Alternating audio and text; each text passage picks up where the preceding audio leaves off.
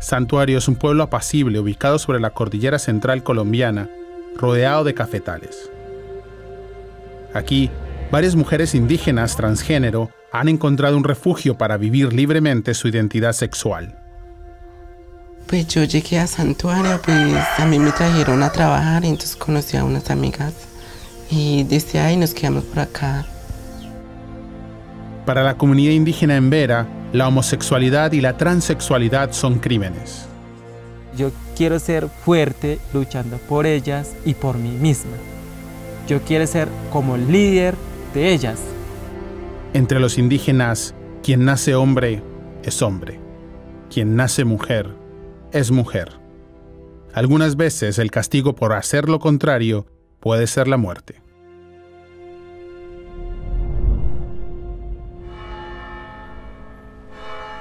Desde chiquita eso era mi sueño, por volverme así. ¿Desde chiquita? Sí. Bella supo desde muy chica que iba a volverse mujer. También conoció pronto el rechazo en la escuela y en su propia casa. Porque yo soy así, porque yo soy transgénero, a uno le, le ponen a gritar cosas, a decir cosas, que usted es gay, así otras cosas más. Yo desde pequeñito, cuando va creciendo ahí, yo sabía que él va a crecer como varón, si me entiende. La profesora también me decía, me llamaba atención, María. Yo creo que Jesús Steven no es varón. Le gusta con la muchacha nomás. Y al último, pues, los hermanos regañaban. Si usted vuelve, si usted vuelve esa cosa ahí como mujer, nosotros no vamos a querer. La madre de Bella la ha acompañado en su tránsito se fueron juntas de su comunidad en Mistrató, en el departamento de Risaralda. Marcela, en cambio, llegó a Santuario con unos familiares, quienes la rechazaron cuando ella decidió quedarse como una mujer. Yo me vino por acá con mis, con mis primos a pasear por acá. Y entonces como yo, mi primo cuando ya me quedo así, mi primo ya no me gustaron que quedara así. Entonces ya me rechazaron de mí, ya que él dijo que no andara más con él. La historia de Samantha es similar a la de sus compañeras. Tuvo que decidir entre quedarse y enfrentar un castigo por ser como es o alejarse de su comunidad. Yo sentí en esa época que no iba a crecer como, como muchachos, como dicen que es que hombres. Entonces me decían, entonces usted quiere ser mujer. Sí, yo quiero ser mujer. Pero si usted quieren castigar, me pueden castigar por eso. Para vivir en la comunidad indígena en Vera hay que acatar las normas. Y las normas dicen que la homosexualidad y la transexualidad deben ser castigadas. Es difícil que la comunidad indígena acepten ya como tal, ¿cierto? Como eso antes no veían acento, para ellos son cosas muy nuevas, entonces si está fuera de la comunidad del resguardo no se aplicará a ninguna sanción, ningún reglamento, ningún estatuto que rige dentro de la comunidad porque ya eso no pertenece a la comunidad indígena. Cuando uno quiere ser así como transgénero, el papá de uno, los tíos, las abuelas, los hermanos no le gustaban. Solamente decían, si él está haciendo eso, mejor, mejor matar, mejor matar y terminar esta vida, para que la gente no murmure sobre de, de uno, de un papá, de un hermano. Entonces yo pensaba, yo mejor voy a hablar de este territorio indígena. Una vez fuera de las comunidades que las rechazan, las mujeres trans deben hacer frente a la marginación, la pobreza y las dificultades para encontrar trabajo. Según el censo realizado por la alcaldía, en Santuario existe una población de al menos 30 indígenas trans. En las épocas de cosecha cafetera, esa cifra puede llegar a 100. Este municipio es un municipio muy católico, es un municipio muy conservador eh, pero también muy respetuoso de la gente. Y yo pienso que ha desaparecido mucho el tema porque la gente crea que eso es un irrespeto, ¿no? Yo pienso que se ha mejorado mucho la situación, yo pienso que la gente ya no se escandaliza tanto. La gente los aceptó y en la calle son relativamente son bien tratados por la comunidad santuareña. Hace por ahí cuatro años, cuatro años y medio, si la memoria no me falla, fue la primera vez que comenzamos a ver las niñas. Recuerdo que primero ellas salían solo maquilladas, se maquillaban, o sea, eran, eran hombres maquillados de mujer. Cada fin de semana como que se veían más, y comenzaron a verse de pronto un poco más y más. Llegó un punto en el que ellas querían verse como tan mujeres que recuerdo que nos parecía hasta gracioso porque ellos tienen unos colores muy autóctonos de ellos, muy naranja, verde, y ya se ponían las faldas, recuerdo que ya se ponían las faldas como imitando el cabello de las mujeres. Colombia es el tercer productor de café en el mundo.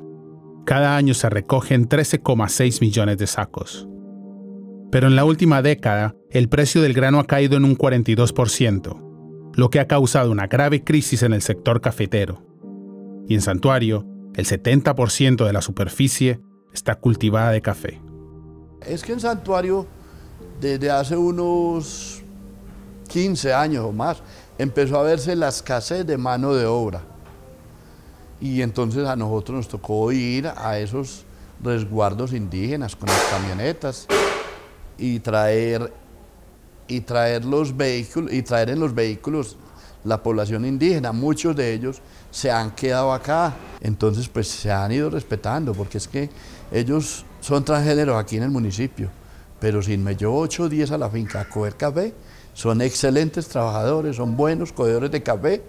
Y entonces es como que, como que nosotros les ayudamos, pero ellos también igual se prestan para ayudar a la comunidad y hacer un trabajo grande, como es el trabajo de recolectar café, de bolear machete, de fumigar, eh, de hacer las labores de la finca día a día, entonces como que ahí va comparsando.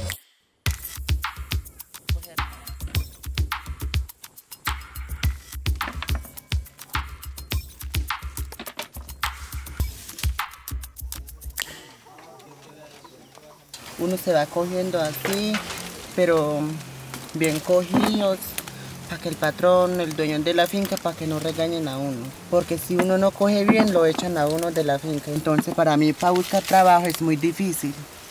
Para coger eso, mire, si uno está jalando para abajo, si lo quiebra uno solo ramita y lo echan. Uno, si no tiene marido, uno se sufre. Si uno está, si tiene marido, no sufre porque con el marido uno se anda bien. Y, no, y si puede tener marido, ni marido ni tampoco no se puede andar a ningún lado. Cuando uno está sola, pues busca trabajo como sea para ganar plata. Pero el trabajo no es fácil, según ellas mismas cuentan. Por un lado, se les tolera como mujeres trans, pero por otro, se espera que trabajen con la fuerza de un hombre. Lo que son el trabajo, eso sí es muy durito. Uno tiene que cargar como igual como mula, bastante. Y uno para cargar chiquita, ¿qué dicen? ¿Usted por qué cargo chiquita? Tiene que alzar, pero bastante igual como hombre. Es muy triste porque los, los, patrones de las fincas, los agregados, se han aprovechado de esta condición de vulnerabilidad para precarizar el trabajo de estas mujeres y de los indígenas en general, al no pagarles el, el dinero que realmente se merecen. Es decir, si un indígena que no habla español y no entiende cómo funciona eh, la unidad monetaria en este país, entonces eh, el patrón le dice se ganó 100 mil pesos y tal vez le está dando 70 o 60 y él se está quedando con el resto del dinero. Y como ellos no, no fueron socializados en el español y muchos no hablan español, pues aún no entienden eh, cuánto vale un billete y pues se quedan, con, se quedan pensando que son 100 mil pesos, no sé, y, realmente pues el trabajo es muy precarizado. Entonces aquí no son explotados, yo diría que este es un municipio antes donde ellos se amañan, donde nuestros cafeteros pagan, si en este momento no están pagando bien es por la situación de la crisis del café, pero cuando hay café sí pagan muy bien.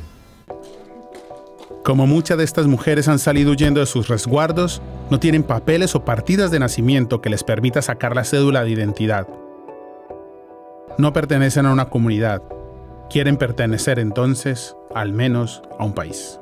¿Yo qué hago? Yo no tengo ni documento. ¿Yo cómo voy a buscar mi trabajo?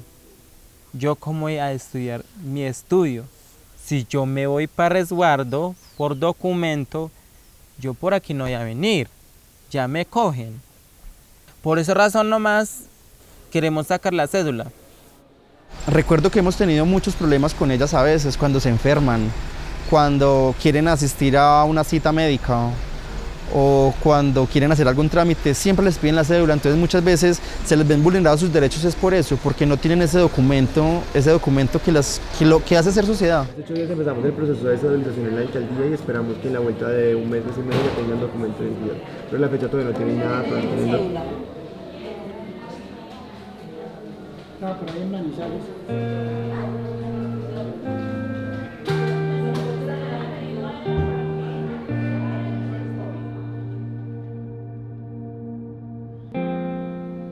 El empeño de las mujeres ha comenzado a verse recompensado. En los últimos meses, a varias de las indígenas transgénero se les comenzó a tramitar su documento de identidad colombiano. En Colombia viven cerca de 1.900.000 indígenas. La mayoría está distribuida en más de 7.000 comunidades de 108 etnias. Esas comunidades, también llamadas parcialidades, son gobernadas por cabildos, que representan legalmente a la comunidad y hacen parte de unos resguardos que incluyen y protegen su territorio. La ambición de Samantha y su grupo es grande, conseguir que se le reconozca a ella y al grupo como una parcialidad indígena, pero nunca antes se ha creado una comunidad indígena transgénero en Colombia. No parece tarea fácil, sobre todo porque necesitan también el apoyo de las autoridades indígenas, las mismas que creen que merecen un castigo. Pero ese es el objetivo de estas mujeres y las danzas que practican con canciones en lengua indígena son parte de este proyecto. Las indígenas trans en particular están en Santuario, no porque Santuario tenga una política LGBTI de equidad y de inclusión de género y bueno, y como un discurso abierto a la sexualidad. Se vienen a esta zona, pues claramente a trabajar en la recolección de café, como muchos otros indígenas, pero no se van de esta zona, es decir, deciden continuar su tránsito en Santuario, porque lo que ellas quieren venir a hacer acá, o lo que están haciendo acá desde hace un año que las conocí, es redefinir unas formas de ser en Vera, es decir, otras formas de ser persona, de construirse como persona, pero además construir colectivamente comunidad indígena. Sí, yo quiero que sea una comunidad porque me parece bueno para que otras muchachas no, no sufran más. Todas las muchachas me salen, Samantha, que en cuando vamos a hacer danzas, vamos a preparar eso. Aunque en este momento no sabemos la comunidad, vamos a nacer, pero vamos a presentar esas danzas como podemos seguir más adelante. Las mujeres trans de santuario esperan presentar sus danzas en fiestas culturales y poco a poco ser reconocidas como una comunidad que comparte valores y usos y costumbres de su cultura. Y no solo ellas tienen expectativas, también otras mujeres se han acercado para preguntar si pueden formar parte de este proyecto. Samantha explica que su única condición es que no haya resentimiento entre mujeres, hombres y trans. La gente dice, Samantha, si usted luchando se sale de esta comunidad transgénero, nosotros mujeres también metemos en eso. ¿Sí puede? Así me pregunta. Y yo le digo, sí, sí puede. Yo no rechazo. Sí, eso va a existir.